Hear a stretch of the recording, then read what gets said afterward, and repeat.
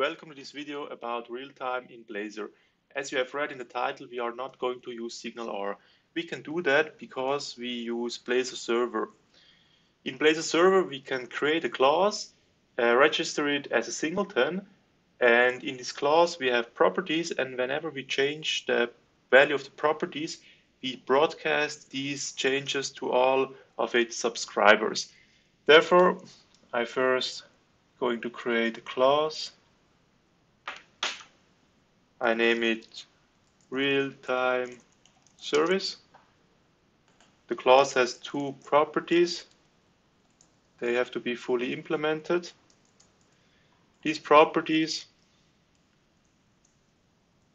will later be used to change the axis of a HTML element. I call them A and B. Now I also define an event of type function task. I name it update event. I trigger this event whenever new values are set to the property. I'm using the Elvis operator, so asking if uh, the event is not null. If the event is not null, I am invoking it. Now here you may ask, the event is returning a task and we are not awaiting the task. Uh, it's not the best possible scenario, but we don't have another option because we are in a property and in the properties we can't use the await uh, keyword. But because the method that, uh, that is stored in, in this event is uh, returns a task and we are not blocking the thread by uh, by calling it the, the event like that. Uh, the, the only thing that we don't get if we don't await the task is we don't uh, get the exception handling. So it's like a fire and forget uh, method, but because it's a very simple example, it, it doesn't matter. So now I'm going to the main layout. I'm going to delete everything.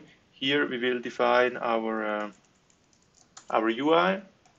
So body, I will give it a margin of zero so that, that we don't have the scroll bars. Now I will make a container. Uh, this container is needed to set the perspective so that when we change the perspective, uh, let's just make display grid.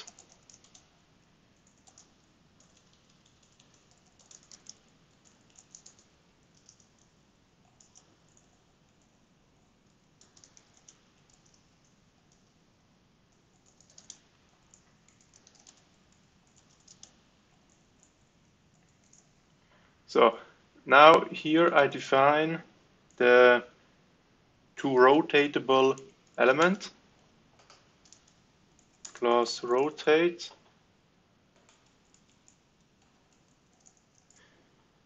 So I'm going to change that here to a class selector container. Now rotate uh,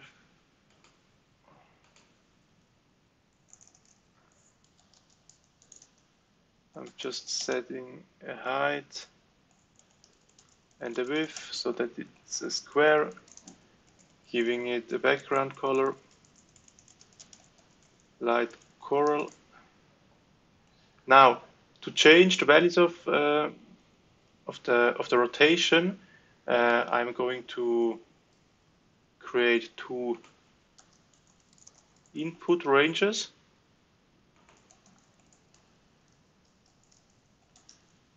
Type range. Now I have to inject the real-time service, I'm giving it the name of service. Now, the value of this first slider, I'm going to bind it to service A. second value is going to be bind against service B. Now I'm defining the event on input So every time the value changes of the slider or of the range, the value is reset. And because we are setting it a new value, the update event is uh, always invoked. So now, uh, first I have to define the code block.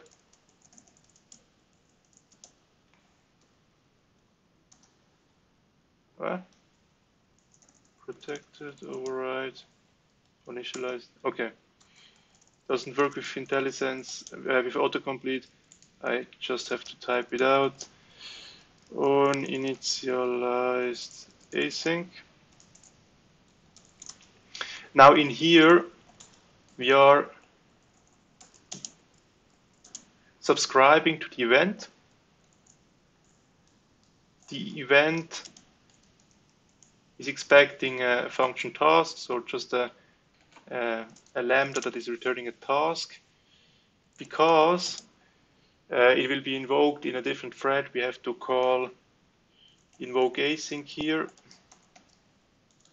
It expects an action, and in this action we are just going to re-render our component. Now, uh, service B, I completely forgot.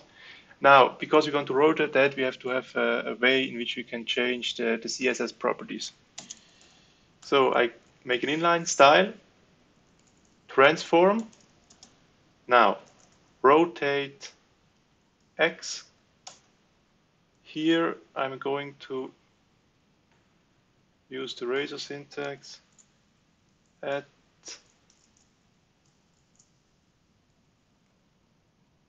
service point A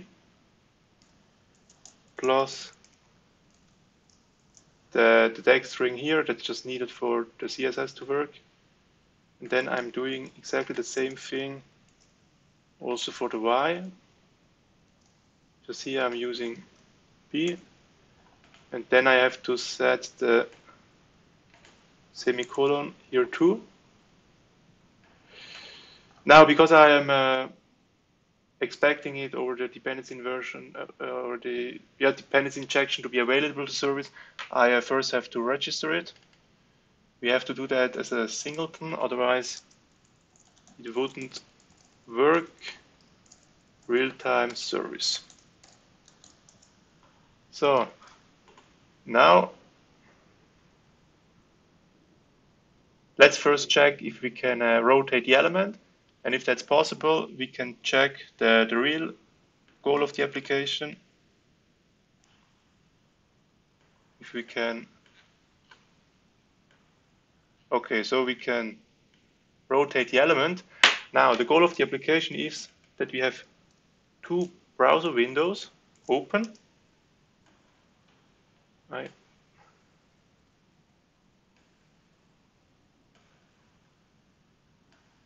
So you get the point what I want to do. I want uh, to display both the browser windows. And now we should be able to change one and the other one is getting changed too. That's because both subscribe to the same uh, singleton service.